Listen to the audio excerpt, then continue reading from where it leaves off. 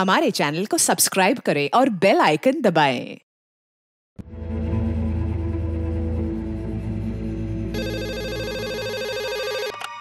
Ajit Verma mobile shop है। हाँ जगन। और हमें अपने सोर्सेज से ये भी पता चला है कि इस अजीत वर्मा का नक्सलियों से कोई कनेक्शन हो सकता है। ठीक है मैं पता करता हूँ। वैसे जगन हमारा मतलब गीता से है। गीता जो 19 साल पहले तुम्हारे गोंजलगढ़ से यहाँ फरीदाबाद लाई गई। और यहाँ पर गीता और उसके पति जयकिशन दोनों का मर्डर हो चुका है। ये गीता दहिया गुंजिलगढ़ से थी इसके अलावा कोई और डिटेल सर? नहीं और कोई डिटेल नहीं। सिर्फ़ गीता दहिया की एक रिसेंट तस्वीर है। इसके अलावा कुछ भी नहीं है। ठीक है फ़ोटो भेज दीजिए। हम अपनी तरफ़ से पूरी कोशिश करेंगे जानकारी निकलवाने की। सर गीता दहिया के पिछले एक महीने के फ़ोन रिकॉर्ड्स में कोई अजीत वर्मा शो अप नहीं होता है। और ना ही कोई छत्तीसगढ़ का दूसरा नंबर तो फिर एक साल के रिकॉर्ड निकलवाओ और फिर से चेक करो। हो सकता है मेरा शक सही साबित हो। शायद गीता इस साजिश में शामिल हो और बाद में ये साजिश बदल दी गई हो। ये लड़का गोद लेने वाला ड्रामा तुमने रचा ना नुपुर? मुझे चाचा जी की प्रॉपर्टी से दूर रखने के लिए। क्या पापा ने कोई वसीयत बनाई थी? तुझे क्यों पता करना है? तुझे चाचा जी एक पैसा नहीं देने वाले थे। तू अच्छी तरह जानती है ये बात। वो तो आपका सपना है ना आनंद भैया लेकिन हकीकत समझ लीजिए। अब तो पापा रहे नहीं इसलिए उनकी सारी प्रॉपर्टी मेरे नाम पर होगी। और आपको केवल वही टुकड़े मिलेंगे जो मैं मैं आपके मुँह पे फेंकूँगी। समझे?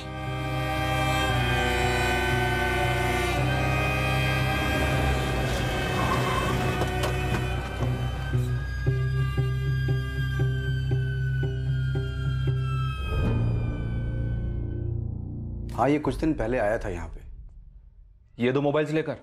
जी। मैंने उससे बोला भी था कि बहुत पुराने मॉडल के हैं। इसके तो खरीदार मिलना भी मुश्किल होगा मुझे। आ, मगर जो उसको रेट बोला था वो मंजूर नहीं था। निकल गया बिना बेचे। इस घनश्याम साहू को तुम कितनी अच्छी तरह से जानते हो? टैक्सी चलाता है बस इतना ही जानता हूँ। अजीत वर्मा? जी। कभी गीता जी ने इस नाम का कोई ज़िक्र किया? गीता जी के गाँव गोंजिलगढ़ का रहने वाला ही अजीत वर्मा। गीता ने तो कभी इस बारे में ज़िक्र ही नहीं किया। और ना ही कभी उसने अपने मायके के बारे में बात की। ना अच्छी ना बुरी। कभी उन्होंने अपने पति के बारे में कोई बात की? अच्छी या बुरी? जी नहीं। जैसे नूपुर को शिकायत थी अपने करोड़पति पिता से कि उन्होंने उसे कुछ नहीं दिया। क्या पता ऐसी शिकायत गीता जी को अपने पति से? कि इतना करोड़पति आदमी घर का सारा काम उन्हें करना पड़ता है? कोई ऐशो आराम नहीं। हाँ हो सकता है और किसको नहीं होगा भला? पर कभी भी हमने गीता को महँगी साड़ी पहने या महँगे गहने पहने हुए नहीं देखा। हमेशा से उसका कान गला सुना सुना ही रहता था। वही दो जोड़े कपड़े पर कभी भी उसने इस बारे में शिकायत तक नहीं की। और जय किशन जी ने कौन सी लाट साहब वाली ज़िंदगी जी? बसों में सफ़र करते थे। छोटी चीज़ खरीदनी हो तो उसका भी मोल भाव करते थे। ये आनंद दैया इसका बेटा मोहित। इसके बारे में आप लोगों ने कभी कुछ सुना? नमस्ते राम राम वाली पहचान है और कुछ खास नहीं।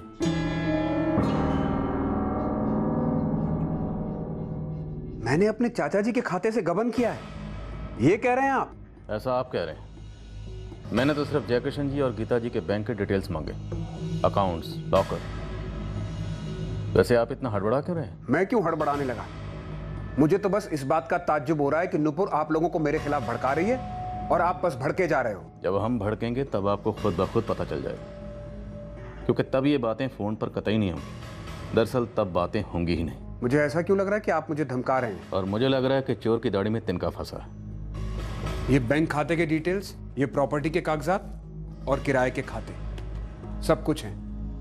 जो 12 लाख रुपए कम है अगर उसके अलावा एक पैसा भी यहाँ से वहाँ नज़र आ जाए तो फांसी पर चढ़ा दीजिएगा मुझे। और वसीयत कहाँ है?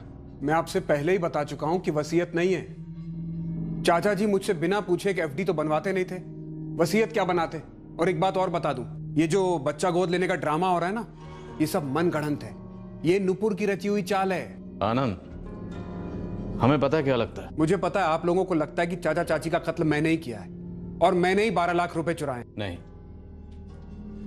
बल्कि हमें लगता है कि तुमने और नुपुर दोनों ने मिलकर कोई साजिश रची है। और तुम्हारी इस साजिश में छत्तीसगढ़ के गोंजिलगढ़ का कोई अजीत वर्मा भी शामिल था। शायद गीता दैया भी शामिल थी। और निशाना थे तुम्हारे चाचा या किशन दैया जो किसी पर भरोसा नहीं करते थे। किसी को अपनी प्रॉपर्टी सूंघने तक नहीं देते थे। इसलिए तुमने और नुपुर दोनों ने सोचा क्यों ना प्रॉपर्टी आधी आधी बांट लें। इसलिए जयकिशन जी के साथ साथ गीता जी को भी रास्ते से हटा दिया गया। इससे बड़ी बकवास मैंने आज तक नहीं सुनी अपनी ज़िंदगी में। और हम हर रोज सुनते हैं और देखते भी हैं। सांप और नेवले को हाथ मिलाते हुए। आनंद दैया पैसे में बड़ी ताकत होती है। पैसा बड़ों बड़ों को लालची बना देता है। तुम लोग जितने भी हो ना सर से लेकर पाँव तक लालच में धंसे हुए हो। मेरी ईमानदारी का ये फल मिलेगा? कभी सोचा नहीं था मैंने। ए आनंद ये जो तेरी ईमानदारी की सीढ़ी है ना उसे जाकर कहीं और बजाना। ये बात छुपी नहीं थी कि जय किशन जी नूपुर से खफा थे और ये बात भी काफ़ी ज़ाहिर थी कि जय किशन जी तुझसे भी कोई बहुत ज़्यादा खुश नहीं थे। तू उनकी प्रॉपर्टी का बहुत ज़्यादा फ़ायदा उठा रहा था और ये जो तेरा ईमानदारी का नाटक है ना अब उसका पर्दा फाश हो चुका है आनंद।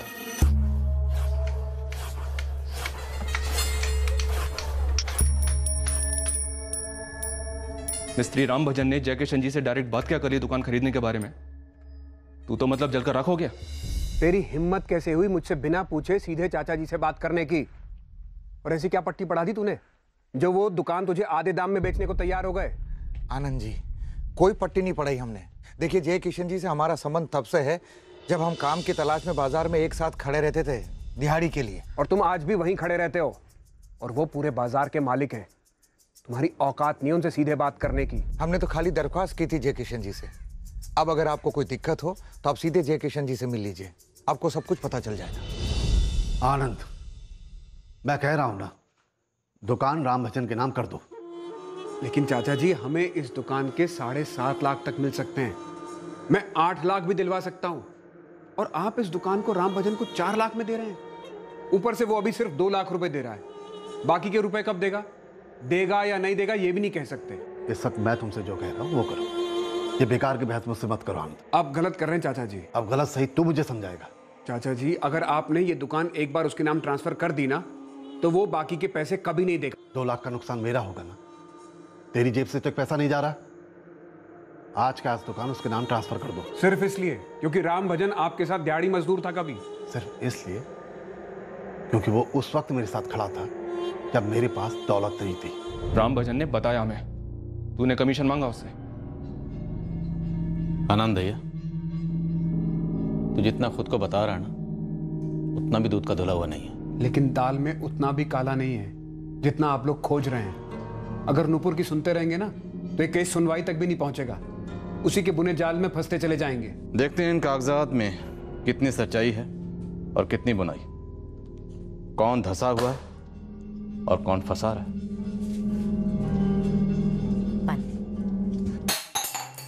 सगा भतीजा उनका खून उनका। जी जला जलाकर इतने सालों तक सेवा की उनकी। डट कर खड़ा रहा उनके साथ। सब कुछ संभाला उनका। अगर गोद लेना ही था तो मुझे ले लेते। हमारे मोहित को ले लेते। क्या चाचा चाची सच में किसी को गोद लेने वाले थे? मुझे नहीं पता। इसलिए और भी ज़्यादा गुस्सा आ रहा है कि इतनी बड़ी साजिश मेरी पीठ पीछे हो कैसे गई? मैंने अपनी सारी ज़िंदगी बिता दी इस विरासत के लिए। इस पर सिर्फ़ मेरा हक है। सिर्फ़ मेरा। तो हमें सब कुछ मिलेगा कि नहीं? मुझे नहीं पता। पुलिस तहकीकात कर रही है। क्या तहकीकात कर रही है पुलिस? किराया तो आज भी वो आनंद ही जमा कर रहा है। मैं कह रहा हूँ ये पुलिस के हाथ गर्म करके सारा गेस्ट ठंडा कर देगा। तो? मुझे तो लेने के देने पड़ गए ना कमल। पहले सब कहते थे कि भाई को खा गई अब कहते हैं कि बाप और सौतेली माँ को खा गए। दुनिया की सबसे बुरी औरत बना के रख दिया मुझे दुनिया वालों। यार ये दुनिया वालों की ऐसी की तैसी यार। देख इससे पहले कि वो आनंद कुछ करे तेरे बाप की जायदाद पर हक जताए तू सारी की सारी लगाम अपने हाथ में ले ले। इस दौलत को हासिल करने का सपना हमने कब से देखा है नूपुर? सपना? सपना था ये श्राप जो हमने खुद को दिया है कमल। एक के बाद एक बुरा ही होता आया है। क्या ये सब ऐसे होना ज़रूरी था? ए, ऐसे हो... ए, एक मिनट एक मिनट। ये तेरा रोना धोना बंद कर बस। बंद कर। तो एक बार ना बस पैसे आ जाने थे गरम गरम करारे करारे नोट। फिर देख तो अपनी ज़िंदगी की सूरत कैसे बदलेगी। ये सारा पैसा जो साला यूँ ही पड़ा था किसी काम का नहीं था हमारे काम आएगा। एक अच्छा घर होगा अच्छी ज़िंदगी होगी अच्छा रहन सहन होगा खाना पीना होगा। इस आराम की ज़िंदगी और हमारे बीच कोई भी नहीं आ सकता। और कोई कुछ नहीं कर सकता नुपुर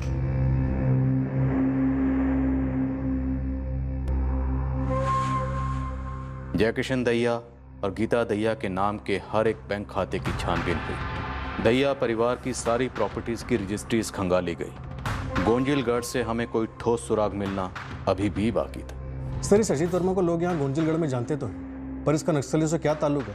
ये बताने से इनकार कर रहे हैं। जगन जितना ज़ोर लगा सकते हो लगा दो। सिर्फ़ यही एक एंगल है जो हमें इस केस में ब्रेक थ्रू दिला सकता है। गीता दैया के बारे में कोई खबर? सर गीता दैया ने 19 साल पहले अपना गाँव छोड़ा था। उसके बाद एक बार भी नहीं लौटी। अब या तो यहाँ लोगों को वाकई में कुछ याद नहीं या फिर जानबूझकर कुछ छुपा रहे। हमने गीता दैया के एक साल पहले के कॉल रिकॉर्ड्स मंगवाए। जब तक कॉल रिकॉर्ड्स आते हैं तुम लोग घुस जाओ। गोंजिलगढ़ के अंदर तक घुस जाओ। हमें गहरा शक है कि विक्टिम नंबर दो गीता दैया इस साजिश की रचनाकार हो सकती है। अब ये कितना सच है ये हमें अजीत वर्मा ही बता सकता है। किसी भी कोने से कोई भी ऐसी खबर नहीं आ रही थी जो हमें अंदेशा दे सके कि 15 सितंबर की दोपहर को जय किशन और गीता दैया के घर में कौन आया था? वो कौन जाना पहचाना शख्स था जिसका खान पान से स्वागत किया था उन्होंने और जिसने उन्हें मौत के घाट उतार दी और अब हमारे सामने आने वाली थी एक और विचित्र बौखलाने वाली हकीकत। सर, हमने क्राइम सीन और जय किशन दहिया की डेड बॉडी के ऊपर से मिले हुए सारे फिंगरप्रिंट्स को मैच किए हैं। एक सेट ऑफ़ फिंगरप्रिंट्स मिले हैं जो दोनों जगह सेम हैं और ये किसी मेल के हैं। हमारे किसी भी सस्पेक्ट के फिंगरप्रिंट से मैच करते हैं। सर आपने हमें आनंद दहिया उसके बेटे मोहित दहिया और नुपुर के पति कमल हुडा के फिंगरप्रिंट्स भेजे थे। लेकिन ये फिंगरप्रिंट्स इन तीनों में से किसी से मैच नहीं करते हैं। तो फिर कौन हो सकता है रजत? हमने नुपुर उसके पति कमल आनंद उसके बेटे मोहित सबके कॉल रिकॉर्ड्स बड़े बारीकी से खंगाले।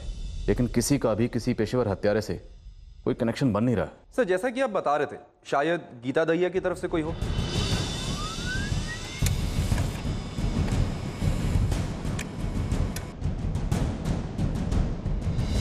सर ये दोनों पार्टी आनंद और नूपुर पे हमारी चील जैसी नज़र है।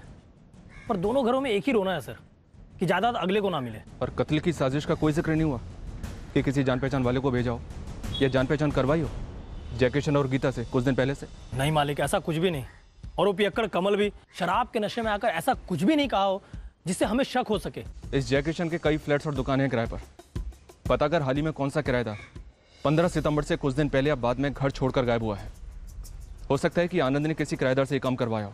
उसे कहा होगा, बारह लाख की रकम गायब कर देना, सुपारी की रकम। अब किराएदार होगा तो मकान मालिक उसे जानता भी होगा, इसलिए घर के अंदर आने दिया होगा।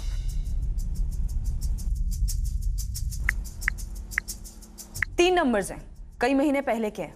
मुझे इन तीनों नंबर के रिकॉर्ड्स और कस्टमर की एक एक डिटेल चाहिए आज ही। मैं आपको तीनों नंबर्स अभी के अभी मैसेज कर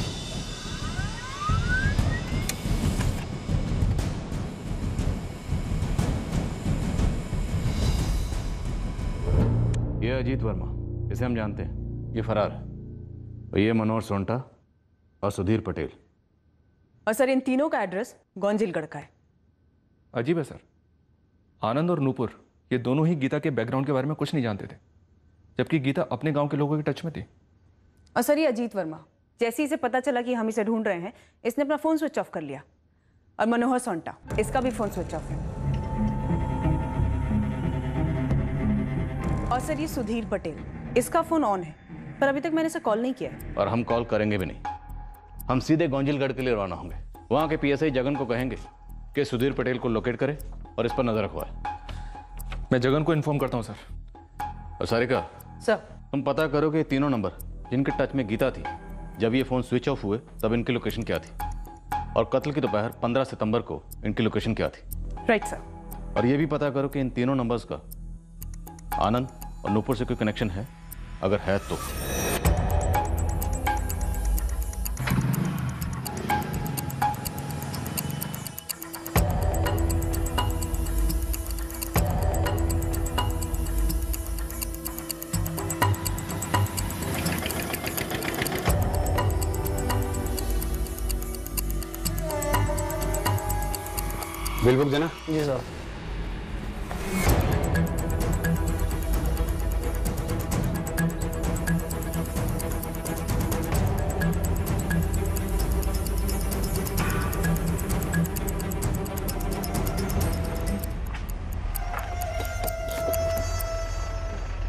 सुधीर पटेल का पता चल गया। यहीं गुंजलगढ़ में जोहरी की दुकान चलाता है। हमारे आदमी उस पर नज़र रखे। उठा लो उसे। सर ये तो गीता लगती है। लगती नहीं। गीता ही है। और 11 जून 2016 को चार महीने पहले तुम्हारी इससे बात हुई थी। और उसके बाद चार बार बात हुई। हाँ साहब बात तो हुई थी। पर माजरा क्या है साहब? गीता ठीक तो है? गीता मर चुकी है। क्या? गीता दैया और उसके पति। जयकिशन दैया दोनों का कत्ल हो चुका। क्या हो गया ये सब? गीता के साथ ये पर आप लोग मुझे क्यों उठा के लाए यहाँ पे? तुम गीता को कैसे जानते हो? साहब गीता हमारे साथ स्कूल में पढ़ती थी। फिर उसके माँ बाप चल बसे तो वो अकेली रह गई। ये कुछ उन्नीस साल पहले की बात है। फिर एक दिन अचानक गीता भी कहीं चली गई। किसी को पता नहीं चला वो कहाँ चली गई। और फिर अचानक उन्नीस साल बाद गीता ने तुम्हें फ़ोन किया। इत्तेफाक? हाँ साहब इत्तेफाक ही तो था। मेरा एक कारीगर है चंदर जो फरीदाबाद गया था एक काम से। तो इत्तेफाक से गीता उससे टकरा गई और जब उसे पता चला कि वो मेरा आदमी है तो उसने उससे मेरा नंबर ले लिया और मुझे फ़ोन किया।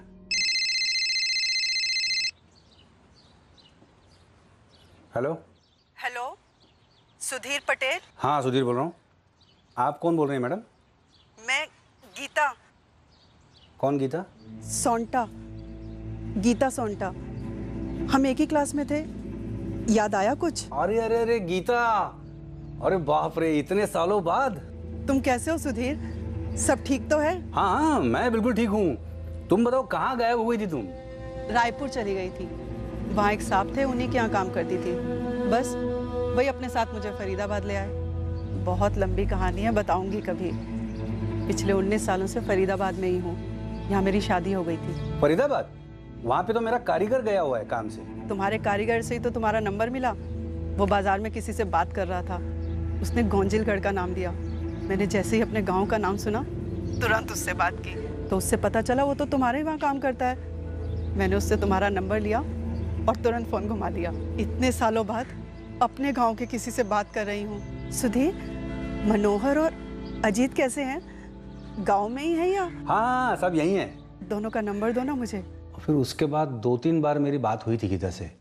मैंने एक ही बार कॉल किया था वो मनोहर और अजीत का नंबर देने के लिए। ये मनोहर सोंटा गीता का दूर का रिश्तेदार है आप कजिन कह सकते हैं उसे। और अजीत वर्मा हमारे साथ स्कूल में था। हम सब दोस्त थे। ये अजीत वर्मा। ये गीता का नाम सुन के ही गायब हो गया। और मनोहर सोंटा ने अपना फ़ोन स्विच ऑफ़ करके रखा। क्यों? मैं क्या जानूँ साहब। वैसे मनोहर मुझे दिखा था साहब दो हफ़्ते पहले मार्केट में। मेरी बात भी हुई थी उससे। और अजीत से? क्या अजीत की तरह तू भी मिला नक्सलियों के साथ? छोटा मोटा व्यापारी हूँ मालिक। देखिए झूठ नहीं बोलूँगा। हर व्यापारी की तरह मैं भी हफ़्ता भरता हूँ नक्सलियों को। आप जानते हैं क्या कैसे होता है पर इससे आगे मेरा उनसे कोई संबंध नहीं है। ये अजीत वर्मा और मनोहर सोंटा ये गए थे फरीदाबाद? इतना पता है मनोहर गया था गीता से मिलने। उसके बाद अगस्त में उसकी बेटी की शादी हुई। बहुत धूमधाम से की थी उसने अपनी बेटी की शादी। दो सेट जेवरात बनवाए थे उसने मेरे यहाँ से।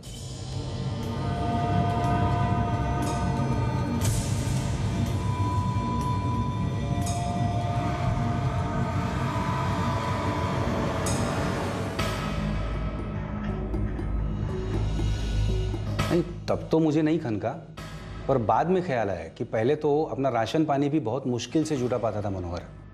और अब तो शादी से पहले उसने घर की मरम्मत भी करवा ली थी।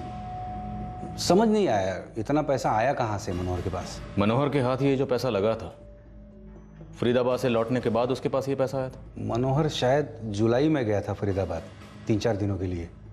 और उसके बाद अगस्त में उसकी बेटी की शादी हुई थी। तो हाँ आप ऐसा कह सकते हैं। पर सच कह रहा हूँ साहब आपके बोलने के बाद ही दो और दो चार हो रहे हैं। ये मनोहर जा कहाँ सकता है? कहाँ छुप सकता है ये? मैं क्या जानूँ? लेकिन साहब क्या मनोहर फरीदाबाद से इतने पैसे लाया था? लाखों। और क्या ये गीता के पास इतने पैसे थे? जब आप लोगों ने मनोहर पे नज़र रखने के लिए कहा तो हम फ़ौरन उसके घर पहुँचे। घर पे ताला लगा हुआ था। पड़ोसियों से पता चला कि मनोहर और उसकी बीवी कई दिनों से दिखाई नहीं दिए। सलाम साहब। साहब मैं सुमित। मैंने ही आपको उस अजीत वर्मा की टिप दी थी। ये मनोहर सोंटा है। इससे भी बात हुई थी तेरी गीता के मर्डर को लेकर? नहीं साहब। इस मनोहर सोंटे के पीछे हाथ धोकर पड़ जाओ। पता करो कि ये कहाँ जा सकता है कहाँ छुपा हो सकता है। जब ये फरीदाबाद से आया था तो शायद इसके पास बहुत ज़्यादा पैसे थे। उन्हीं पैसों से इसने अपने घर की मरम्मत कराई और अपनी बेटी की शादी भी करवाई। पता करो इसकी बेटी की शादी कौन से गाँव में हुई। इस मनोहर सोंटे का मिलना हमारे लिए बहुत ज़रूरी सर फ़ोन रिकॉर्ड्स के अकॉर्डिंग मनोहर सोंटा अजीत वर्मा और सुधीर पटेल। इन तीनों का नूपुर और आनंद के साथ कोई कनेक्शन नहीं दिख रहा है। सुधीर पटेल का कहना है कि ये मनोहर सोंटा जुलाई में फरीदाबाद आया था गीता से मिलने। करेक्ट है सर फ़ोन रिकॉर्ड्स तो यही कहते हैं। पर सर पिछले तीन महीनों में अजीत और सुधीर का फ़ोन लोकेशन फरीदाबाद नहीं दिखा है। सुधीर पटेल की बैकग्राउंड हमने चेक की है लेकिन ये अजीत वर्मा अभी भी फरार है। और ये मनोहर सोंटा जब ये फरीदाबाद से लौटा था तो इसके पास बहुत सारे पैसे थे। हो सकता है इसे आनंद या नूपुर ने खरीद लिया पूरे चांसेस हैं कि इसे आनंद ने खरीदा हो पर सर 15 सितंबर की दोपहर से ना ही सुधीर और ना ही अजीत का फ़ोन लोकेशन फरीदाबाद शो कर रहा है। लेकिन सर मनोहर सोंटा इसका फ़ोन सितंबर महीने के तीसरे हफ़्ते से स्विच ऑफ़ आ रहा है। इन तीनों के नंबर्स और फ़ोन की ट्रैकिंग जारी रखो। ये भी हो सकता है ये काम अजीत या मनोहर ने अपने किसी जान पहचान वाले से करवाया सर सर जगन का फ़ोन है। वो कह रहा है कि हम पर नक्सली हमला हो सकता है।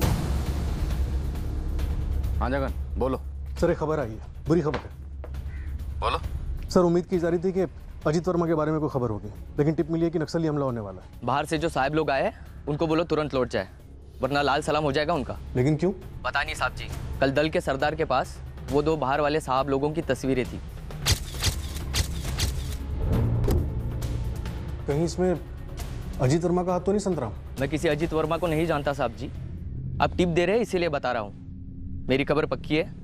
कभी भी हमला हो सकता है बड़ा वाला। और टारगेट आप और विनोद दोनों हैं। जगन अब हम पीछे तो नहीं हटने वाले। सर प्लीज़ सिर्फ़ अभी के लिए एक कदम पीछे हटा लीजिए। सर जब तक आपके पास फोर्स पहुंचेगी देर हो सकती है। वक्त सही नहीं इसलिए कह रहा हूँ। सिर्फ़ अभी के लिए आप प्लीज़ वापस लौट जाइए। हम वापस नहीं जाएँगे। तुम एक टीम तुरंत भेजो। एक तीर से दो निशाने लगेंगे। ये नकली टोली भी मिलेगी और ये अजीत वर्मा भी। सर इतना आसान नहीं है। अजीत वर्मा इस अटैक के पीछे है या नहीं ये बात अभी कंफर्म नहीं है। और इस अटैक के नतीजे काफ़ी घातक हो सकते हैं। प्लीज़ मेरी सिचुएशन समझिए। मैं आपसे वादा करता हूँ। आपको अजीत और मनोहर दोनों ला कर दूँगा। सर एक कवर टीम भेज रहा हूँ। आप आप प्लीज़ वापस लौट जाइए। सर हमारा यहाँ रुककर नक्सलियों का सामना करना बनता तो है लेकिन हमारा ऐसा करना जगन की पोजीशन के लिए खतरा हो सकता है।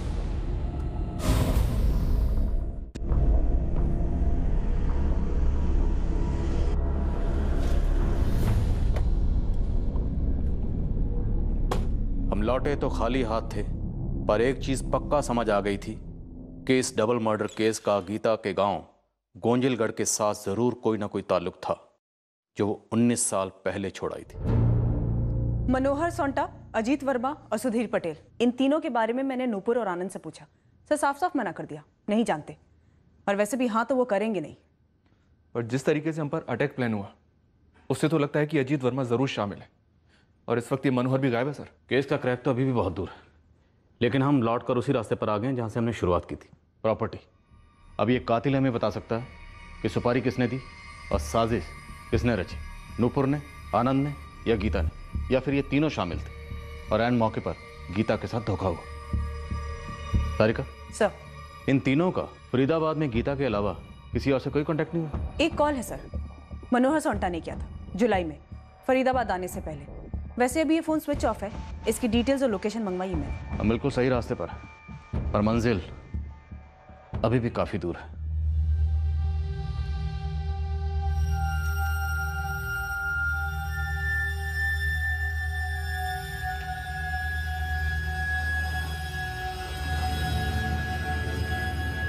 सुनिए। आप एक बार नुपुर से बात तो कीजिए। अभी तक आप ही सब कुछ संभालते आए हैं। नुपुर को आपकी मदद की ज़रूरत तो पड़ेगी वो अकेली ये सब नहीं संभाल पाएगी। आधी से ज़्यादा ज़िंदगी बीत गई चाचा चाची को झेलने में। अब इस नुपुर को भी झेलूं? मैं नहीं जाने वाला उसके पास। उसे आने दो कागजात मांगते हुए। इतनी आसानी से हार नहीं मानूँगा। मेरा हक है। सालों की मेहनत है। जाया तो नहीं जाने दूँगा।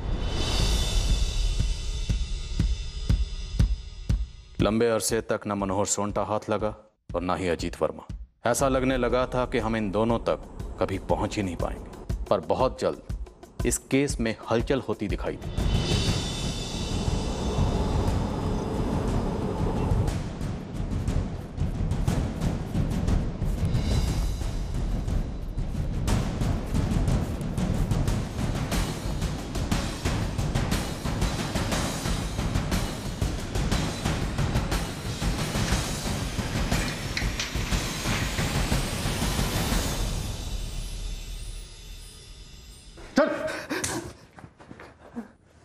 अजीत तुझे पता है तुझे ठोकना हमारे लिए कितना आसान है।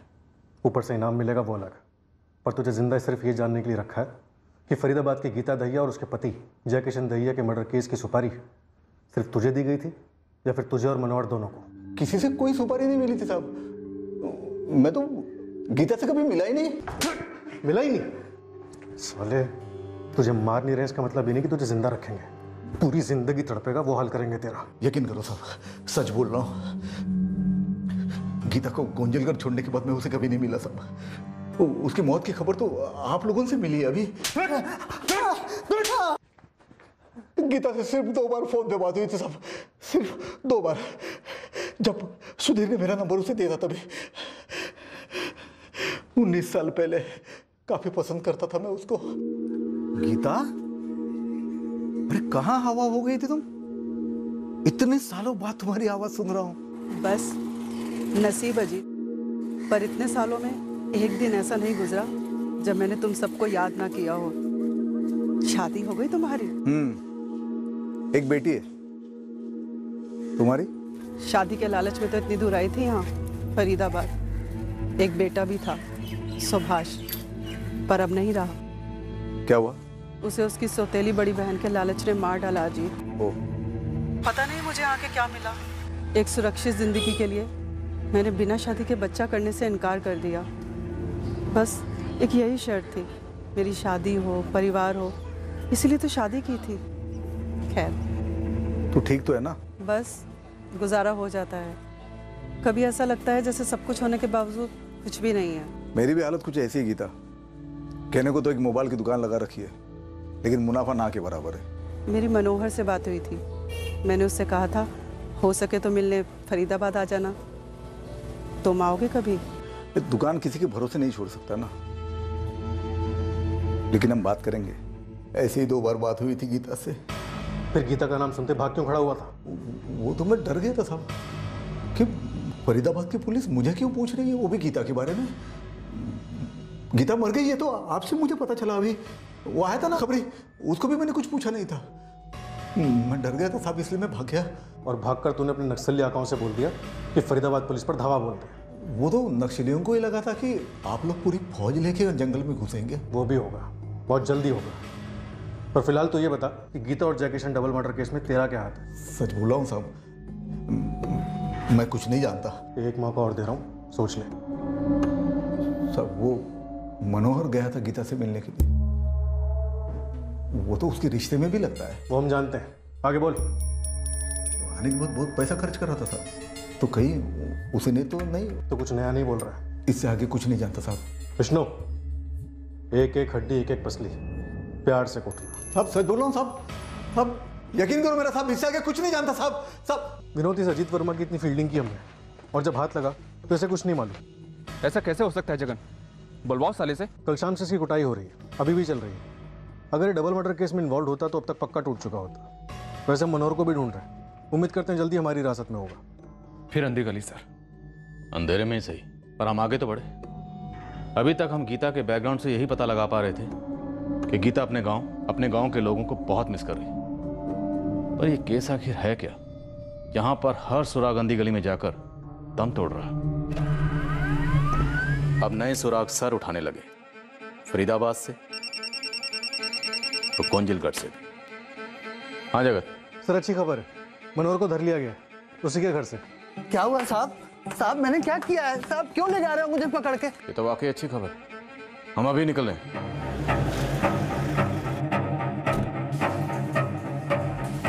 गुरप्रीत आहूजा जी। मैं ही हूँ। तो मनोहर सोंटा को कैसे जानते हो? नहीं मैडम मैं किसी मनोहर सोंटा को नहीं जानता। तो जुलाई महीने में मनोहर सोंटे ने आपको फ़ोन क्यों किया था?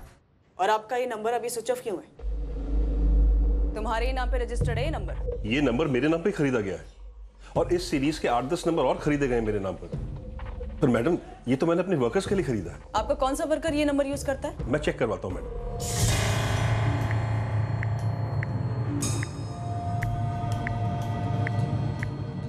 ये तो राहुल दामोर का नंबर है गुरप्रीत जी जो कई दिनों से बंद है। कब से? ये तो चेक करना पड़ेगा मैडम। राहुल ने जब से फ़ोन बंद किया है तब से वो ड्यूटी पर भी नहीं आया है। और उसकी कोई खबर भी नहीं है मैडम। इस राहुल दामोर का पूरा एड्रेस उसका कोई दूसरा नंबर और तस्वीर जो जो डिटेल्स है मुझे सब चाहिए तुरंत। इस केस की जड़ तक पहुँचने का रास्ता काफ़ी घुमावदार साबित हुआ। हमें इस रास्ते ने फिर एक बार गोंजिलगढ़ पहुँचा दिया और यहीं हमें मिलने वाला था फरीदाबाद के डबल मर्डर केस का सच। साहब गीता मेरी दूर की रिश्तेदार थी मेरी बहन थी। मुझे भी यकीन नहीं हो रहा है कि वो मारी गई है। हमें भी यकीन नहीं हो रहा कि तुझे पता ही नहीं कि गीता मर गई क्योंकि तूने खुद उसे मरवाया। नहीं साहब नहीं। और उसके बाद अपना फ़ोन स्विच ऑफ़ करके गोंजलगढ़ से गायब हो गया। ये सच नहीं है साहब। साहब वो बगल वाले गाँव में फैक्ट्री लग रही है। वहाँ मुझे दो महीने के लिए काम मिल गया था इसलिए चला गया था साहब। और रही बात फ़ोन की तो मैंने साहब को बताया साहब कि वो मुझे सस्ता सिम मिल रहा था तो मैंने वो सिम लेके फ़ोन में डाल दिया और वो बंद रखा। सच बोले मनोहर। साहब मैं ऐसा क्यों करूँगा? अगर मुझे यही करना होता तो मैं अपने घर वापस क्यों लौट के आता? मेरा आधार कार्ड छूट गया था। मैं वही लेने आया था तो साहब ने पकड़ लिया मुझे। तो अब आ गया ना पकड़ में? अब सच उगलते किसने सुपारी दी थी? साहब साहब इतना घिनौना इल्ज़ाम मेरे पर मत लगाइए। मैं गीता को क्यों मारूँगा? साहब उसने मेरी ऐसी मदद की कि कोई सगी बहन भी नहीं कर सकती। मेरी बेटी की शादी हो गई मेरे घर की मरम्मत हो गई। मैं तो मिलने गया था साहब।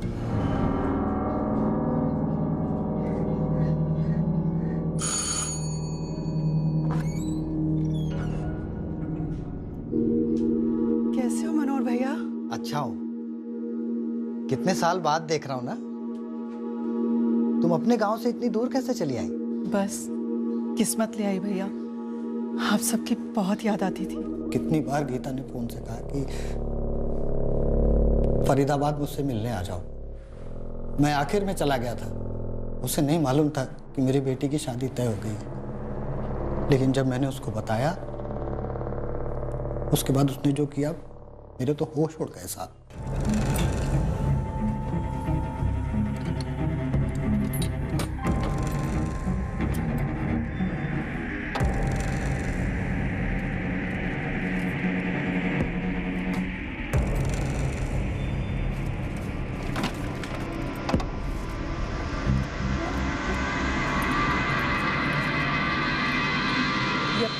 शादी के लिए। गीता तुम्हारे पास इतने पैसे? ये कुछ नहीं है भैया। पैसे पैसे बहुत हैं पर मेरे किसी काम के नहीं। लेकिन इतने सारे पैसे मैं कैसे ले सकता हूँ? ये अपनी अंजलि के लिए हैं। अंजलि का जो जो दिल करे उसे सब खरीद देना। बहुत धूमधाम से शादी करना उसकी। मैं इसे बैग में पैक कर देती हूँ। मुझे तो यकीन ही नहीं हो रहा है कि गीता जो 19 साल पहले गाँव छोड़ के चली गई थी अचानक से इतनी अमीर हो गई और मेरी दिल खोल के मदद कर रही थी। मुझसे बोली कि और चाहिए तो बेझिझक मांग लेना। साहब मैंने पूरी ज़िंदगी में इतने सारे पैसे एक साथ नहीं देखे थे। ग्यारह लाख। कुल मिलाकर दो करोड़ बारह लाख पैंतालीस हज़ार होने चाहिए। मतलब बारह लाख रुपए कम है। गीता ने तुझे ग्यारह लाख रुपए दिए या बारह लाख? ग्यारह लाख साहब। साहब मैं घर जाके पाँच पाँच बार गिना।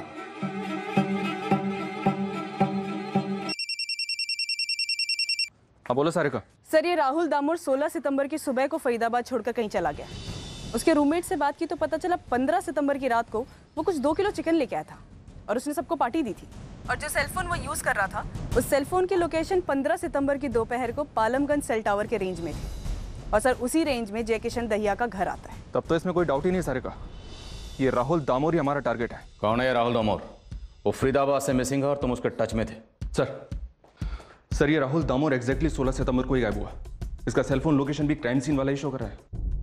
मनोहर अब सब सच सच बता दे। गीता और जयकिशन को मारने की सुपारी तुम्हें किसने दी थी? और तुमने वो सुपारी आगे दी राहुल दामोर को। साहब मैं राहुल दामोर को जानता हूँ। जब मैं गीता से मिलने फरीदाबाद आया था ना तो मैं उसके कमरे पे ही रुका था।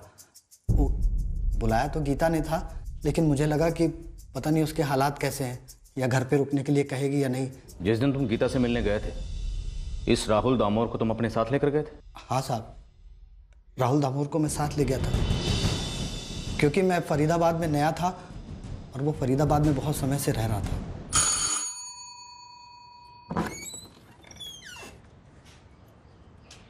कैसे हो मनोहर भैया?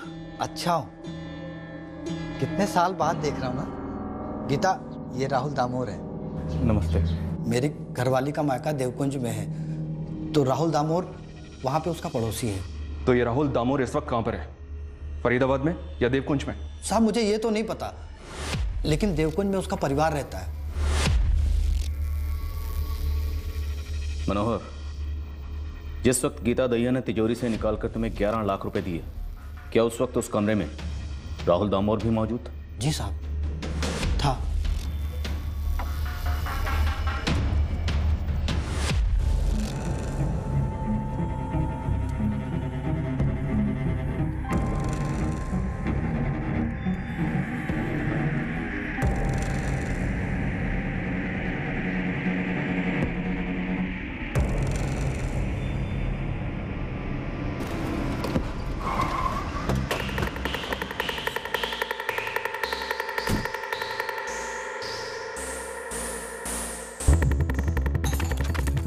हमें देखते ही जब राहुल दामोर भाग खड़ा हुआ, हम जान गए कि हमें हमारा टारगेट मिल गया। अब सवाल ये था कि क्या ये असली टारगेट था या महज किराए का टट्टू?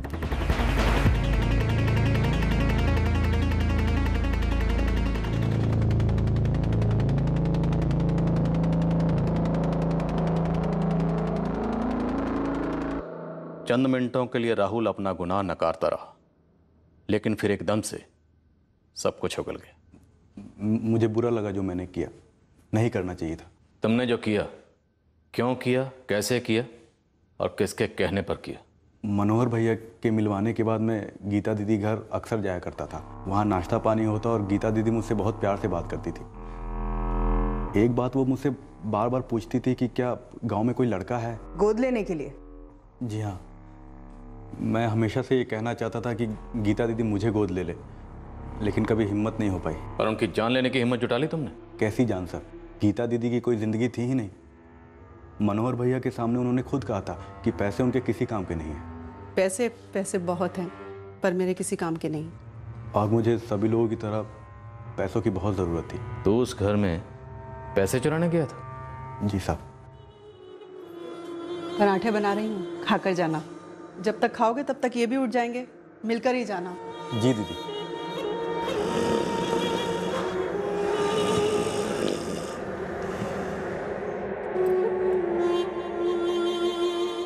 मैंने घर वालों को बोल कर रखा है, दीदी। एक प्यारा सा बारह तेरह साल का कोई लड़का हो तो बताए। मैं तो मनोहर भैया को भी बोलने वाली हूँ। गरीब से गरीब होगा तो भी चलेगा। बस उसके माँ बाप राज़ी हो, मैं गोद ले लूँगी।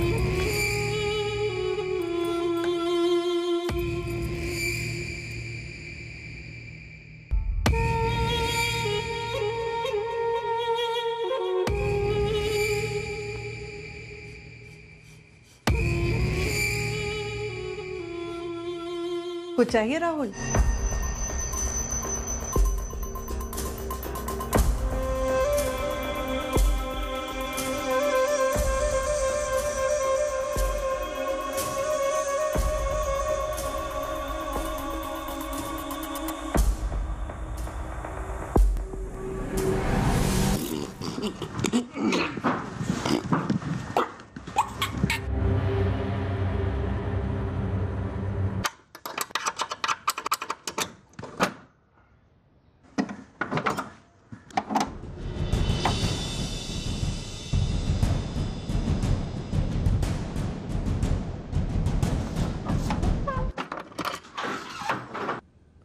कितने लिए तुमने? एक लाख थे। तब मालूम नहीं था। लेकिन घर जाने के बाद दोनों बंडल गिने तो पूरे एक लाख रुपए थे।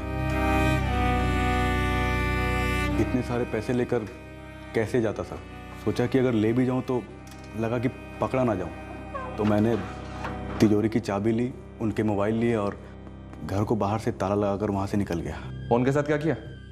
शौचालय के उसी के कोने में छुपा दिया था। और लॉकर की चाबियाँ? वहाँ के बाद मैं गाँव भाग गया था देवकुंज। चाबियाँ वही हैं मेरे घर पर। अबे तूने सिर्फ़ एक लाख के लिए दो जाने ले ली।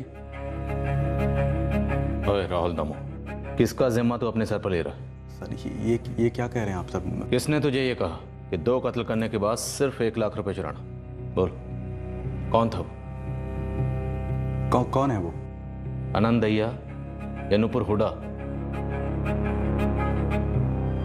उंगलियों के निशान मैच हुए होंगे। लॉकर की चाबी भी उसके घर से मिली होगी। लेकिन मैं ये बात मानने को तैयार ही नहीं हूँ कि राहुल ने सिर्फ़ एक लाख रुपए के लिए चाचा जी चाची जी को मार दिया। सर ये राहुल नूपुर से मिला हुआ है। मैं लिख कर दे सकता हूँ। और नूपुर लिखकर देगी कि तुम मिले हुए उससे। जबकि सच ये है कि इस बंदे ने तुम दोनों का नाम तक नहीं सुना पहले। हमने उससे हर तरीके से पूछताछ की। वाकई राहुल ने एक लाख रुपए चुराए थे। मान लो अब इस बात को। नूपुर का इसमें कोई हाथ नहीं। थैंक यू सर अच्छा हुआ जो आपने कातिल को पकड़ लिया। नहीं तो सारी ज़िंदगी सब बस शक की नज़र से देखते रहते कि सर, ये जो मन पर से बोझ उतरने का सुख है ना, ये उस सुख से कई गुना ज़्यादा संतुष्टि दे रहा है जो जो मुझे पापा की जायदाद से मिलेगी। वैसे नूपुर जी सारे पैसे कोर्ट में जमा होंगे। आपको ये पैसे कोर्ट से क्लेम करने होंगे। जब आप कोई वकील करेंगे तो सारी बात आपको समझा देगा। सर एक बात कहूँ? जी। हमने कई बार ऐसा सोचा होगा कि कुछ ऐसा हो जाए जिससे कि पापा की सारी प्रॉपर्टी सारी जायदाद हमें मिल जाए। कई बार गुस्से में बुरा भी सोचा। पर इतना बुरा इतना बुरा होगा ऐसा नहीं सोचा।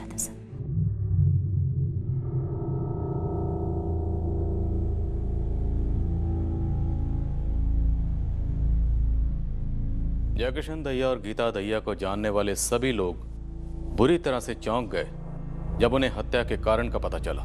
पर यह कारण सच था। राहुल दामोर अपने लालच के दलदल में धंस गया था।